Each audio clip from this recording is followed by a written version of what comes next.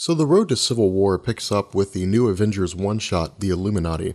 And this comic book is particularly important in the realm of Marvel Comics, not necessarily because it sets us on the road to understanding how the Civil War really kind of develops and begins to unfold, but because this comic gives us the backstory of the Illuminati.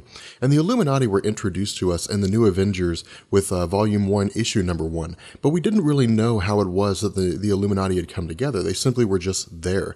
They were first introduced during the six part storyline, The Breakout. And then, of course, they came across the reintroduction of the Sentry into Marvel Comics in 2005. But we didn't know how this took place. We didn't know how the Illuminati had formed, if any meetings had taken place, or anything like that. This one shot gave us that backstory. And what we see is that after the events of the Kree Skrull War, which was a war between the Kree and the Skrull, two alien species that had been warring for millions of years, Tony Stark had really kind of come to the understanding that had the uh, most prominent leaders, I guess, in the uh, superhero community shared information that each of them had individually, the conflict could have gone a much different way. As opposed to really kind of impacting Earth and coming as close to Earth as it had, they could have really kind of executed preemptive strikes so that it never really came as close to Earth as it did. And so he organizes this sort of leadership gathering, this sort of uh, meeting in Wakanda. And what we see is that Tony Stark himself, as the de facto leader of the Avengers, so to speak, uh, we see Charles Xavier as the leader of the X Men, uh, Black Bolt as the leader of the Inhumans, Doctor Strange as the Sorcerer Supreme, Reed Richards of the Fantastic Four, and Namor the Submariner of the Kingdom of Atlantis really kind of coming together and uh, really kind of, uh, I guess, maybe mulling over this idea of forming a kind of secret government, so to speak. Now, they wouldn't really form a government in the traditional sense, that is to say, they would impose laws on the superhuman community. They would really just kind of be the hidden hand behind, behind a lot of things that take place. And we see this really kind of playing out. Initially, people are not very receptive to the idea of a secret government or an Illuminati. And in fact, Charles Xavier voices his concerns and says, this is really kind of the base fear that virtually everyone who has a fear of superhumans has. They're afraid that at some point along the line that this exact kind of thing will form. Uh, Tony Stark, of course, combats this and says it is done with the best of intentions, but as we've seen in the past, sometimes the best of intentions turn into the worst case scenarios.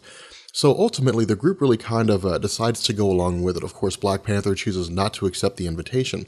And over the course of this comic, we see the Illuminati executing uh, various plans. We, of course, see the Illuminati uh, make the decision to kick the Incredible Hulk out of the planet Earth and send him to a different planet just because of the fact that due to the, his violent nature and Bruce Banner's, uh, for the most part, inability to control the Incredible Hulk, he really presents more of a danger than virtually any other Earthbound character at that particular point in time.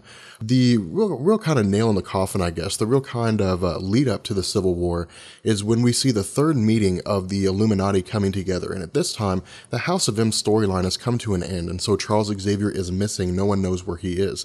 And we see that Tony Stark presents the Illuminati with a bill, with the uh, Superhuman Registration Act that is going to go before Congress. And initially, he believes they should side with it. Now, from here, we pick up with the Fantastic Four issues number 536 and 537. But unlike the new Avengers Illuminati storyline, we don't really see anything involving the uh, Superhuman Registration Act for the most part. What we actually see is that Thor's hammer, which had previously belonged to Thor, who most people at this point had uh, assumed to have been dead, falls to the planet Earth and lands in Oklahoma. We see the Fantastic Four receive a distress call, and when they arrive, they see a military base which is being overrun by Doctor Doom and his Doombots. Over the course of these two comics, we ultimately see that the goal of Doctor Doom is to attain the hammer of Thor, and ultimately he fails. And in kind of a bit of humor towards the end, we see that the Thing, Ben Grimm, tries to pick up the hammer of Thor and, of course, is unsuccessful. From here, we pick up with the last three issues that are part of the Road to Civil War storyline, which is The Amazing Spider Man Volume 2, issues number 529 to 531. And this, I would say, is probably the most important part of the Road to Civil War storyline. What we see here are a couple things taking place. The first is that Tony Stark, who has formed a very close friendship with uh, Peter Parker, presents him with a new Spider Man suit. And this new Spider Man suit is really kind of intriguing here.